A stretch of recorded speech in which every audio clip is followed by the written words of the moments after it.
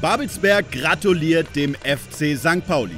Beide Fanlager sind befreundet. Heute geht es gegen Lichtenberg 47 vor 1700 Zuschauern. Bei einem Sieg winkt die Tabellenführung für die Filmstädter. Gagpeto bei den 47ern wieder von Beginn an mit dabei. Kam gegen Luckenwalde von der Bank und sorgte für den späten Ausgleich.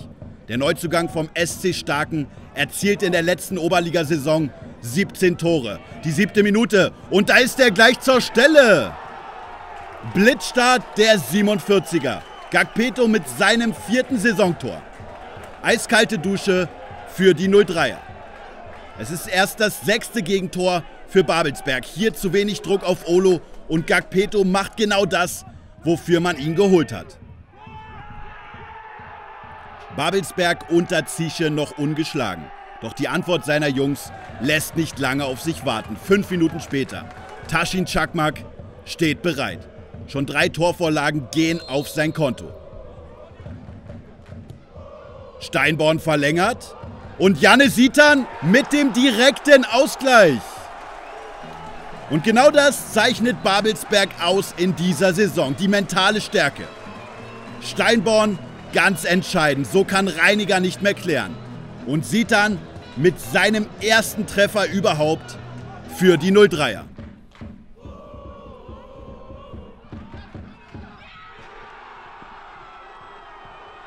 Lichtenberg zieht sich jetzt immer weiter zurück. Babelsberg wie gewohnt mit viel Ballbesitz. Und solchen Bällen in die Spitze auf Daniel Frahn. Doch Niklas Wollert ein Fels in der Brandung für die 47er. Hier wieder zur Stelle. Gut eine halbe Stunde gespielt. Die Filmstädter Ton angeben, wollen unbedingt mit einem Sieg heute auf Platz 1 der Tabelle springen. Daoud Iraki erhält heute das Vertrauen von Zische. Ebenfalls wieder in der Startelf Tino Schmidt auf Czakmak. 2 zu 1 Babelsberg. In nur 22 Minuten macht Babelsberg aus einem 0 zu 1 eine 2 zu 1 Führung. Und wie wichtig ist dieser Neuzugang für die 03er? Czakmak mit dem Freistoß zum 1 zu 1. Und hier steht er goldrichtig.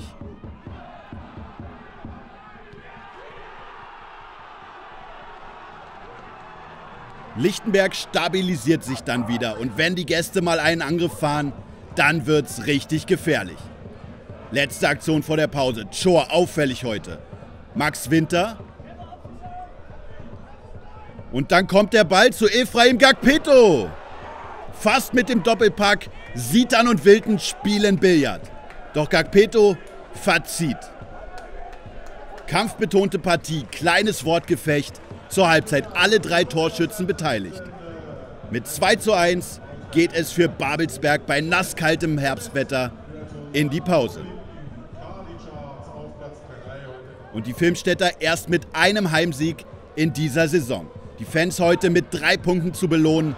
Oberstes Ziel. Steinborn setzt sich gut durch gegen Reiniger und Steinborn scheitert am Ende am Endgegner Niklas Wollert. Die Anfangsphase in Halbzeit 2 gehört noch den Babelsbergern, doch jetzt ist Lichtenberg die aktivere Mannschaft, stört immer wieder früh. Die 55. Minute. Gave mittlerweile im Spiel auf Niklas Kaus an der Seitenlinie. Und jetzt zündet er den Turbo vorbei an Sitan in Robbenmanier. Niklas Kaus.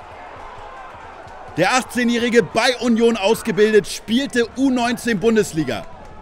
Im Sommer verpflichtet mit seinem ersten Tor für die 47er. Und was für ein schönes.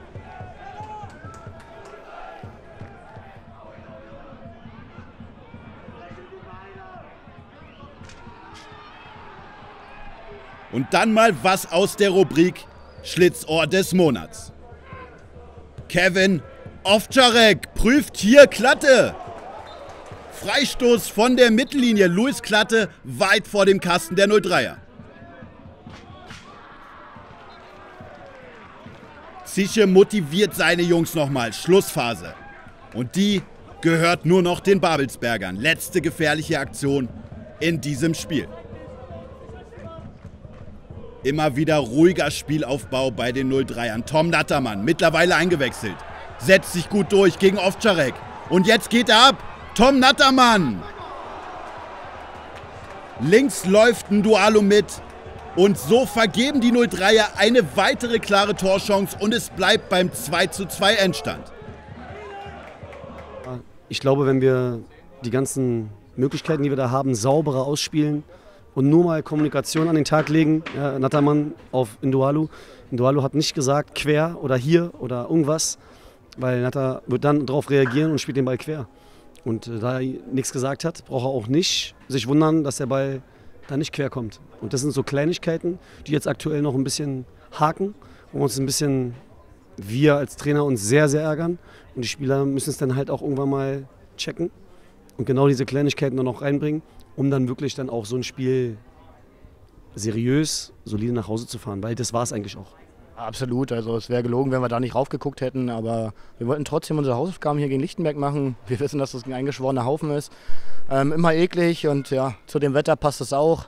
War ja ein zweikampfbetontes Spiel, ja, wo wir vielleicht unsere Konter besser ausspielen müssen und dann gehen wir hier als Sieger auch vom Platz. Das ist sehr, sehr schade.